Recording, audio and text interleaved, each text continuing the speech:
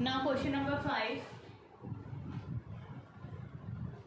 P Q perpendicular B A ये जो ये जो साइन होता है ना ये, इसको आप उल्टा टी कहते हो, ये परपेंडिकुलर का साइन होता है। इसका मतलब है, जो क्यू है ना वो ए पर 90 डिग्री का एंगल बना रहा है।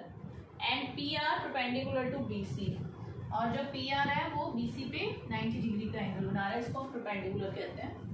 Such that P Q equal to P R P Q equal to P R हमें शो करना है B P bisect angle A B C ये जो बी पी है, वो ए बी सी को बाइसेक्ट कर रहा है। Bisect means two equal parts में डिवाइड कर रहा है।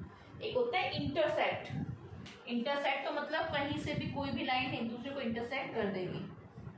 लेकिन अगर वो बाइसेक्ट कह रहा है यानी ये दोनों लाइन एक दूसरे को इक्वल पार्ट्स में डिवाइड करिए। ये लेंथ और ये लेंथ इक्वल है।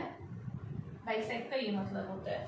अब अगर एंगल बाइसेक्ट हो रहा है तो इसका मतलब क्या है? ये शो करना है कि ये वाला एंगल इस वाले एंगल के इक्वल है। एंगल बाइसेक्ट हो रहा है। भाई, ये कंप्लीट एंगल है। मैं कह रही हूँ, ये बाइसेक्ट हो रहा है। दैट मीन्स ये और ये इक्वल है। अगर ये एंगल 60 डिग्री का है और ये बाइसेक्ट हो रहा है तो ये 30 और ये 30 तो ये मतलब है बाइसेक्टर का। तो हमें प्रूफ करना है BP is the bisector of angle A B C that means ये वाला एंगल और ये वाला एंगल हमें इक्वल प्रूफ कर दे। तो हमारा रिज़ल्ट प्रूफ हो जाएगा। चलिए स्टार्ट करते हैं।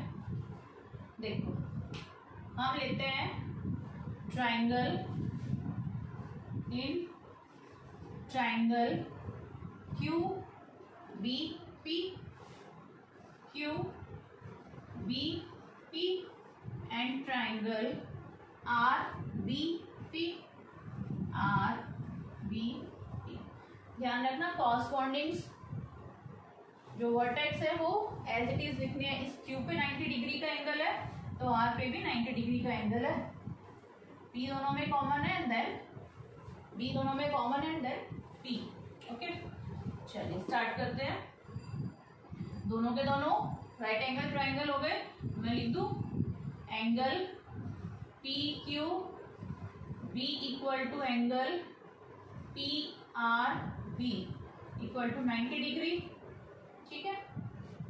अगर ये नाइन्टी डिग्री है तो ये वाली साइड क्या है? देखो, अगर कोई राइट एंगल ट्राइंगल है, आपको उस दिन भी बताया था, ये राइट एंगल ट्राइंगल है तो जो इससे अपोजिट साइड है वो क्या है? हाइपोटन्यूज ये वाली साइड क्या है?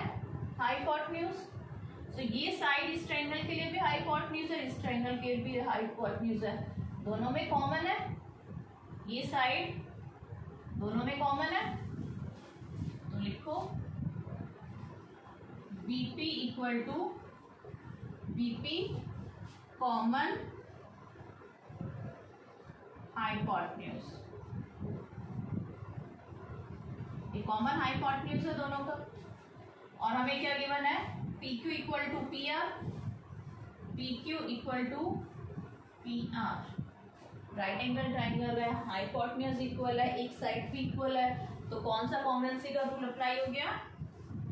Therefore, triangle Q BP congruence triangle R B P कौन सा रूल हो गया? Right angle hypotenuse side right angle hypotenuse side अगर ये दोनों ट्राइंगल कॉन्ग्रुएंट है तो ये वाला एंगल इस वाले एंगल के इक्वल है। तो इस एंगल को रीड क्या करेंगे? Q B P so angle Q B P equal to angle R B P R B P bracket में क्या लिखना है? C P C T congruent part of congruent triangle congruent part of congruent triangle ये दोनों आपस में equal है तो इसका मतलब क्या है? ये जो बीपी है, वो इस कंप्लीट एंगल का क्या है? Bisector so therefore BP